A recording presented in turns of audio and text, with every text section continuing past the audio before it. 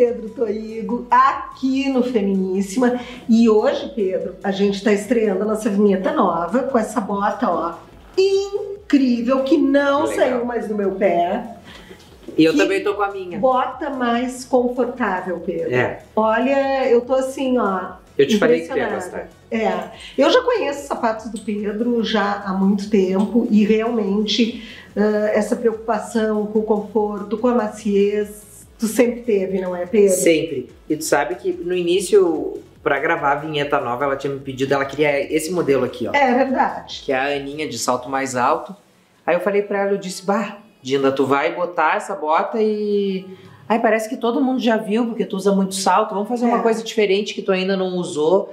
E, e eu até tava falando com uma parceira de negócios minha, que ela é super minimalista, ela tem Hum. um estilo muito moderno.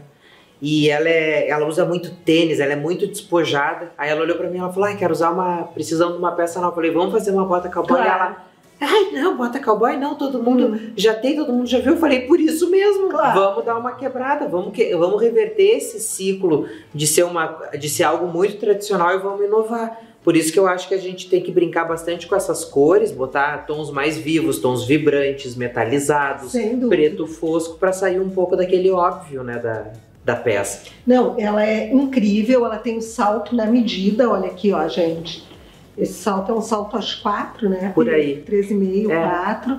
E a gente não se sente baixinha e se sente confortável ao mesmo tempo, porque com um salto mais alto, tu acaba escolhendo os momentos que tu vai colocar, né? E esse Essa salto dá para reduzir um pouquinho. Quem tu quiser. bota de manhã e esquece. Ah, né? esquece. É, eu, por exemplo, tu vê, eu tenho um pezão, meu pé é uma lancha. Ah. Só que aí eu coloco esse sal- essa bota, eu já. É eu já tô acostumado, né? Mas eh, tem- eu tenho alguns clientes, homens, de, Hum. tem até um de Curitiba esses dias que comprou uma, Fosca também, e ele solicitou que eu baixasse o salto. Eu consegui baixar um centímetro do salto.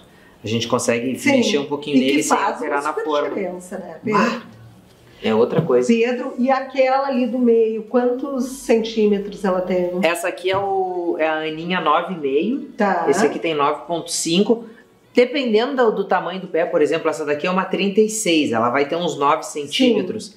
Uma 38, 39 vai ter 10. Mas esse salto Mas é um salto não. confortável, né, Pedro? É, é, apesar de ser bem alta, ela é bem inclinada, ela... O bloco, né? O bloco Sim. traz estabilidade. Aquela outra lá, cowboy azul jeans, também. Tá, eu não sei te dizer qual que eu acho mais bonita, se é a verde ou a azul.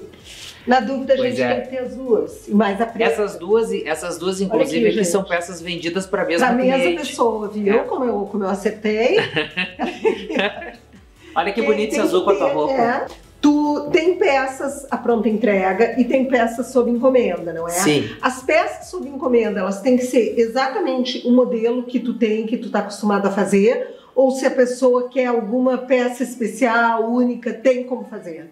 Tem, tem. Eu, na verdade, o que, que acontece? O meu, a minha encomenda das peças que eu já tenho, por exemplo, ah, quero Pedro, quero essa cowboy em amarelo, É tá? mais rápido, eu Sete dias. né? É. Sete dias é, é o, é o prazo, tá? Tu pede numa segunda, na sexta-feira eu te entrego. Tá. Menos de cinco, mas enfim, eu dou sete que vai que Sim, cai um, não... raio na minha cabeça, acontece alguma coisa, vai saber, né? Fure o pneu do carro, aí pelo Nunca sabe quando Nunca se sabe. Vai que, sei lá, em Porto Alegre com essa chuva, vai que eu me afogue, né? Então, Sim, tu pede sete dias. É, tem sete dias. E daí, quando a pessoa quer fazer uma peça, a gente tem que desenvolver uma modelagem, tem Claro, que desenvolver uma forma. É, eu não sei quanto tempo em média, assim, mas no mínimo um mês, né? E assim, ó, gente, eu sei que o Pedro faz também aquelas sandálias e sapatos especiais para noivas, não é? Para noivos, sapatos também. também. não é? Vai, eu tô com é uma um linha momento especial, masculina. então... Tô com uma linha masculina. Mas a não- gente nunca mostra, né, Pedro? Eu não tenho divulgado muito ela no meu, no meu Instagram, porque eu, te- eu tenho muita demanda.